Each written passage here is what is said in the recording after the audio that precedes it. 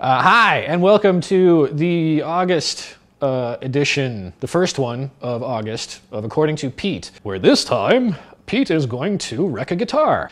I have a guitar, which is a Jackson RR3 Randy Rhoads model, which is terrible to play. I said I was going to build a pickup system based on the ADMP 401 Analog Devices MEMS microphone, and I've done this. Um,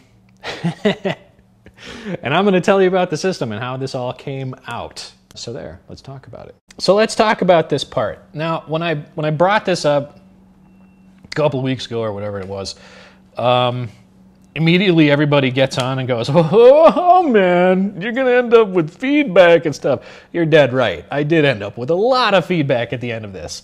Before these things were available, I swear to God, I saw a promo video on the Analog Devices website that showed like a couple of scientist dudes pinning one of these things on top of a speaker and and picking up the vibration from the speaker. And they were able to you know recycle that and use that. I'm like oh vibration. That's awesome. Of course you read the data sheet and you use one of these things. Yeah it's just a microphone. It's an open air microphone. It does pick up vibration very well. Picks up everything else very well. Um, so in the end, this was not a good choice, but I went for it anyway because, like, eh, I'm not afraid to fail. I do it every day. W- with the idea of designing a circuit to do this, uh, what, what, do you need? Okay, well, I need the ADMP 401, right? Um, it has uh, a voltage requirement of like 3.3 volts max, I think. There's no regulator on the board, but there is a little op amp for gain. It's got like a gain of 67. Like I wrote it down somewhere here. Oh, and in, just in case you want, let me be uh, B-O-B for breakout board.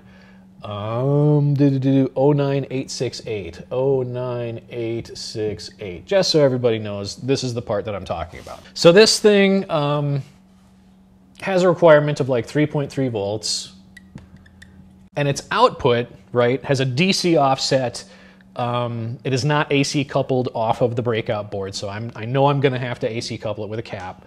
Um, and its output level I tested it on my scope uh, about a week and a half ago, and I think it was like uh, somewhere between one and two volts peak to peak. So is that close to the level I need? Eh, it's workable. I can make this work. I'm going to use three three of them. So I want to mix this thing. I want to mix them all together equally. So um, what you get is an op amp. You got a feedback resistor, I put a 10K in here, and I'll explain some reasoning behind that, maybe if you're lucky. And then, to mix a bunch of signals, you have, for example, another one here, another a resistor there. So if I'm if I'm mixing three equally, and I want to gain a one out of this thing, check this out.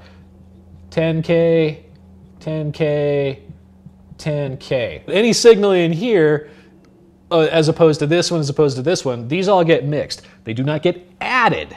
They get mixed, okay? So your output level, if I've got one volt peak to peak here, one volt peak to peak here, and one volt peak to peak here, and they are all in phase, I do not get three volts peak to peak out here, or six, or um, I get the mixing of those signals. So the amplitude is going to be consistent, okay? As I said, I've got uh, like one to two volts peak to peak coming out of the ADMP 401. Uh, the first thing I want to do is to be able to turn it up, turn it down, so I don't have to worry about the level so much. So I put a 10K pot right at the output, okay? Now, this does have a DC offset. It's not, it's not at zero volts, and I have no interest in running a bipolar supply, so a DC offset is assumed to be part of the nature of the beast. Um, so we have to couple that to the next stage. If it's not completely obvious, and I haven't stated it previously, you do not want to DC couple this to this because all of your DC levels will propagate through the DC coupling and you'll end up with something really stupid on the output. So we AC couple this thing. I chose 10Ks for my values just because I got a lot of them on hand. This is a gain of one here. This is our op amp. Uh, I chose an LM358 and I'll talk about that in a sec. But first let me talk about this coupling capacitor. This guy, right, the gain on the op amp, we've talked about this before. uh, gain is set up by this resistor and this resistor, and it'll be uh, you know the feedback resistor over the the what's the term for this resistor? The the eddy resistor. I don't know. Um, so 10 over 10 it gives, gives you a gain of one. Okay, a capacitor, right? And we've I think we've talked about this previously.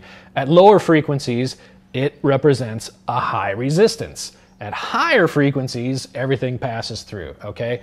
In fact, if I've never written this calculation down, uh, 1 over 2 pi f c equals x sub c. This is called capacitive reactance, okay? And it's in ohms. So 2 pi times the frequency of interest times the capacitance value inverted gives you a number. This number is larger at low frequencies. So you want, so you pick a low frequency, like uh, the lowest frequency of interest, say, you know, 100 hertz or what have you. And you put in, you know, 100 hertz times whatever, in this case, one microfarad, da da da da, and you come up with a number. That number has to be uh, effectively, you want it to be an order of magnitude lower in resistance than this one, okay? Now, I just picked one microfarad and uh, do, do, do, do, do. And uh, so, yeah, you can, at one microfarad and 10K, you basically put um, 10K in here, you put one microfarad in here, and you can back it out for frequency. So with these two values, in this equation, you end up with a cutoff frequency of 15.9 hertz. Okay, so this, this ends up being a high pass filter, which effectively passes everything above about 16 hertz. I'm never going to worry about 16 hertz. That thing is way lower than it needs to be. It's fine. Now, in truth, the, the preceding resistor here is actually this and this at the frequency of interest and some of this. But this doesn't really come into play because it's going to be a smaller value. This is going to be like, you're not going to turn it down to zero generally. Uh, adding that 10K into the thing, eh, it doesn't matter. So anyway, um, one microfarad and uh, yeah, the other frequency or the other uh, equation of interest is 1 over 2 pi times RC equals F not. So that's the that's the equation that you're actually working with here to get you know the 10k. Da, da, da, As I said, the ADMP uh, 401 runs off about you know nominally 3.3 volts. So I'm going to want a supply for that. Now I'm not really going to want, and, and once this is AC coupled, I can do whatever I want out here. I've just got a signal Nah, but I'm not really going to want to run an op amp at a different supply voltage because that's a pain. If I've already got to set up a regulator for 3.3 volts, I'm going to want something here that runs off of 3.3 volts too. Turns out the LM358 that we sell, the dip, it'll run at 3.3 volts. That's easy enough. Ah, you got to set up your reference, okay? In order to have the output sitting halfway between ground and VCC, which is what we want to get the best up and down swing, we set it up like this on the non-inverting input. So I've got a 10K and a 10K, which splits the difference, right? Voltage divider. So this is going to be 1.5, 1.65, is that right? Um, and then you want to decouple that with a ca- uh, another capacitor. Um, and it's, it's essentially the same thing. You want to keep noise off of this pin so it doesn't propagate out to the output. Use the same equation here to figure out what your cutoff is, and it's the same values, same thing. So at anything um, at higher than 16 hertz, it's effectively going to go to ground. So noise shouldn't be a problem there. In my first iteration of this, I was lazy and I did not put the feedback cap in. Um, dumb always put that thing in because it will oscillate. You will hear radio noise and go, huh, I wonder what that's all about. That is your op amp freaking out at high frequencies, um, probably soon to burn up. You want to pick a value.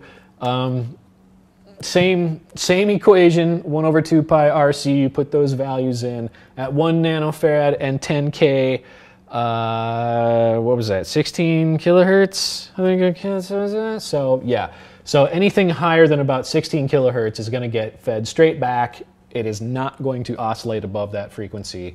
Everything should be golden. Ha ha ha. It's 3.3 volts.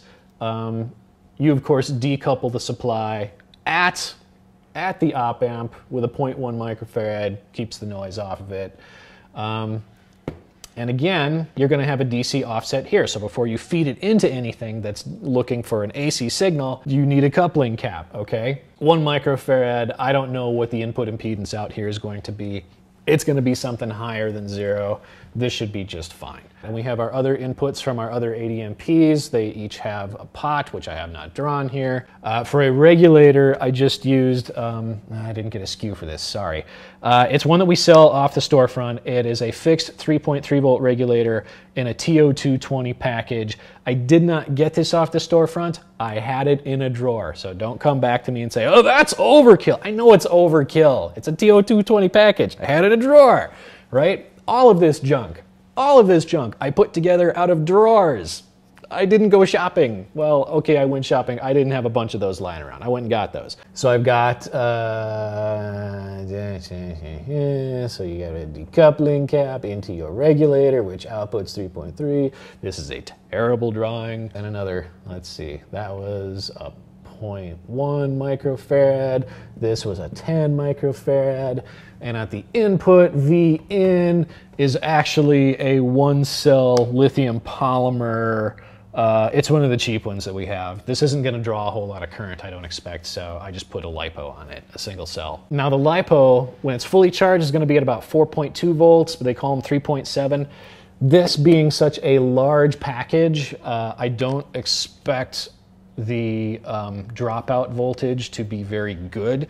Uh, dropout voltage, if we have not spoken about it before, is the voltage that will uh, that the regulator requires. Okay, um, if I got 3.3 volts here and I've got 3.4 volts here, this thing isn't going to regulate properly. The output isn't going to be 3.3. It's going to be like 2 point something probably. I haven't checked it. I've got the battery fully charged and I believe I'm running very close to 3.3 here. So eh, expect about a 0.9 volt. I'd check the data sheet if I really cared, but this will run at a lower voltage. This will run at a slightly lower voltage, so I'm not too worried about it. Here, here is the wretched beast as she stands, uh, as she sails. It doesn't sail, it's a guitar.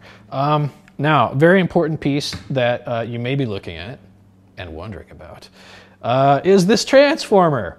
How steampunk is this, right? This, this guitar, in my opinion, is so badly balanced that it is completely unpleasant to play because you're supporting so much weight with your left hand. Eh, I could rant about this, but that's not really why we're here. Um, this is my circuit, and uh, do do do. As you can see, I've got wires strung. I've got a sensor up here on the corner. Uh, I got another one down here at another sharp edge, and then I got one in good old center stage in the middle where the regular pickups go. I got my three, I've actually got a fourth pot. The LM358 has two op amps in it, right? It's got two stages virtually. actually, not virtually, actually. Um, and what I had intended to do, given more time, was to run the signal, which you probably can't see on the board now, uh, back through with a master volume on the second op amp. Um, never got to do that, so this doesn't do anything really. Uh, but the first three do. Um, and apparently, I wasn't smart enough to drill holes in the PCB and run them up that way so they're stable. So they're just on their leads. I'll show you that it lights up. So let's talk about the sound. The sound sucks. The first thing I ran into was the absence of this feedback cap. I was listening to it through a headphone amp, which is a good thing because you don't get feedback you know, through your speaker, da da da da. Um, you know, I got the headphones here and I can listen to it.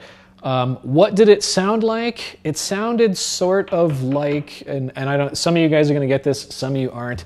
Sounded sort of like a Gretschy TV Jones sort of thing, kind of a breathy pickup, um, minus a lot of low end. Okay, so it, it was a kind of a cool sound, but it was noisy and it was gritty. I attached these by two methods. I mean, obviously you can see the, the masking tape uh, that, that secures them, but that's not really enough mechanical connection. So what I did was I got some scotch double-sided sticky tape, uh, not foamy, not foamy tape, because I want a lot of vibration to get to the microphone.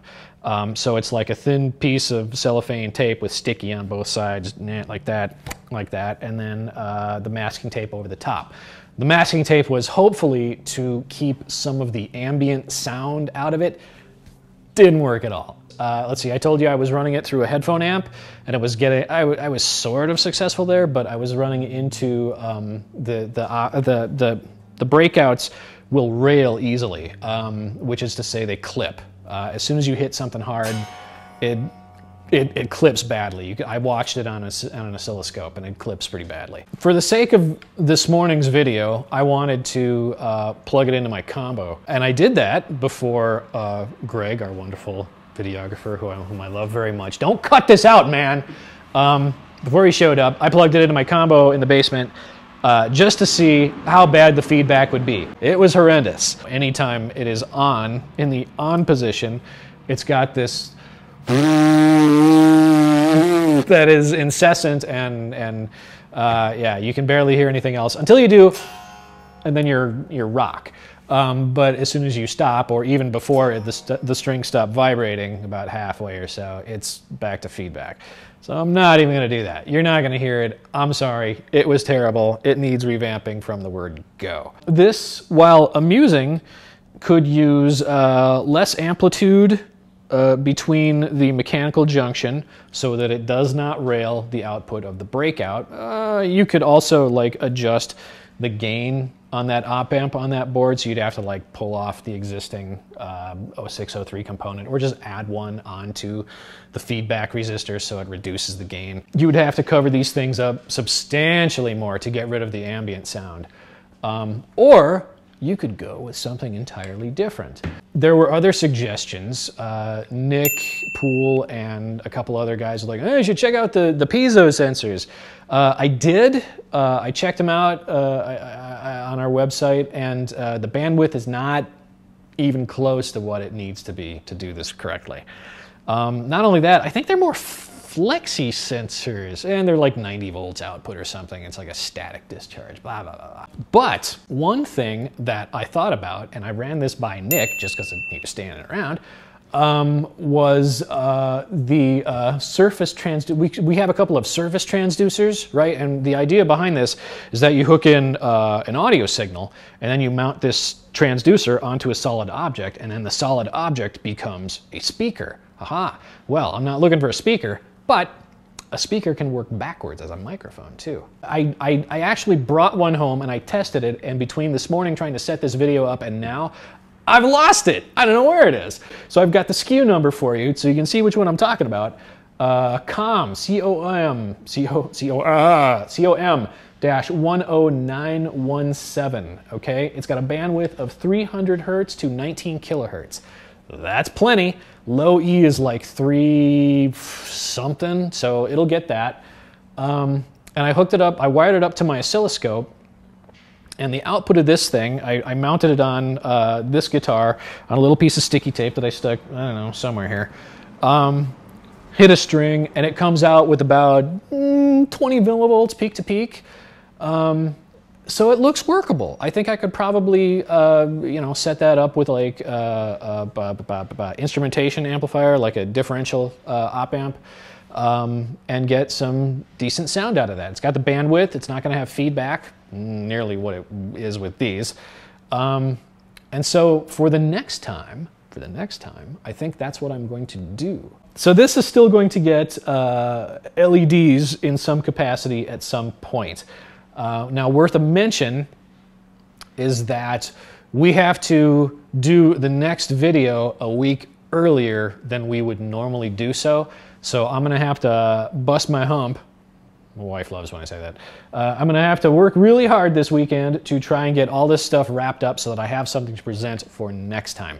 Not to be light, might be a little light, but I think what I'm to do is mount a couple of those uh, surface transducers on here and see if I can get better sound. And I think I'm to be successful because um, I feel lucky and because this was so bad I can't possibly do worse. That's it for this episode. Thanks for watching. Sometime in the upcoming episodes, I would really like to cover something like serial communication, like UARTs, SPI, I2C, Um, it's something we probably should have talked about. Analog is closer to my heart, but digital processing is something you just got to do. And this isn't really digital processing, this is digital communication. And anytime you have a microcontroller, you're going to have to deal with something like this. It's not going to happen next time, but it might happen in the next few. But for the next time, we're going to do what I said, which is with the surface transducers on the guitar, and I'll see you get some lighting, blah, blah, blah, blah and like that. If you have questions that you would like addressed, you send them to feedback at sparkfun.com with according to Pete in the subject line. Other than that, keep the comments coming in the section below. Say, Pete, your shirt rocks. Um, Pete, your shorts are awesome. Pete, your hat is on backwards or sideways. And until next time, I'll see ya.